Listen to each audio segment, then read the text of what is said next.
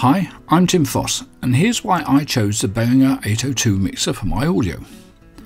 It's a bit of a review combined with how to set a mixer up to get the best out of it. The Behringer 802 is not the only compact mixer that works well for YouTube work, but it does show off all the features that you should be considering. It's small and the quality is very good, especially for the all-important mic inputs. And it also has just the right amount of functions for what I need now and for more things in the future, such as working with two presenters, Skype interviews, or even general mixing audio tracks with voice, music and effects. And it's very low cost, at around $60 $70 for the 802 and $90 for the USB version. So what's so neat about the 802 for YouTubers? The 8 inputs are just about right, there's two very low noise microphone channels which have balanced XLR and quarter inch jack inputs, and a switchable 48 volt phantom power which is a must if you're using condenser mics, which I think you should be. There's enough line inputs for music or other sources, and the effect in out works for either effects or for mix minus one for making sure that Skype callers on interviews don't get fed back their voice. Being on the top, all the input and outputs are easy to access, and the sockets are all solid quarter inch jacks. If you need to connect either phono or 3.5mm plugs, then just get some adapters. Running down a channel, here you've got 3 band equalizer for cutting and boosting high, mid and low ranges. The good news is that they're good sounding EQs. The sort of bad news is that they offer boosts or cut of up to 15 dB.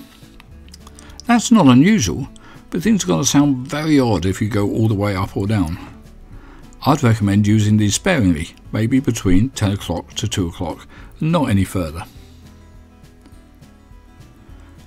The FX send is a separate mixer feed which comes out of the FX send and back in on the aux inputs.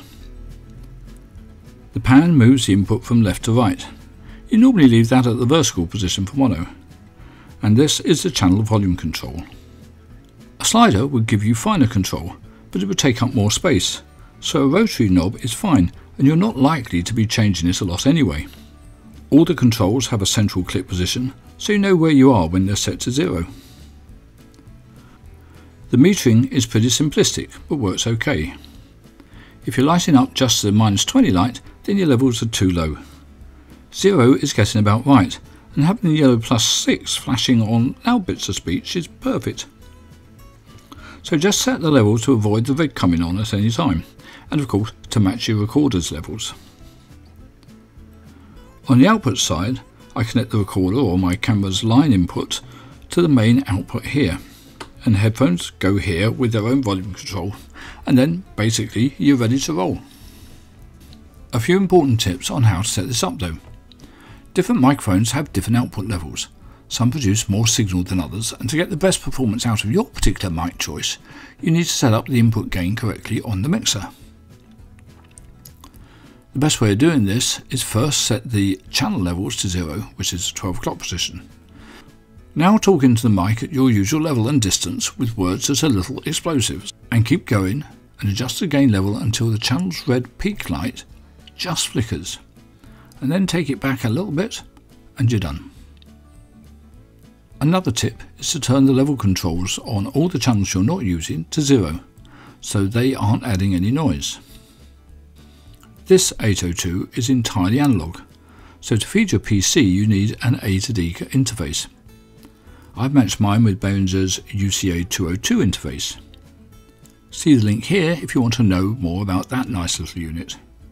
There is a version of the 802, the 802 USB, which has a digital USB output for the main mix, and that also throws in a simple but effective compressor.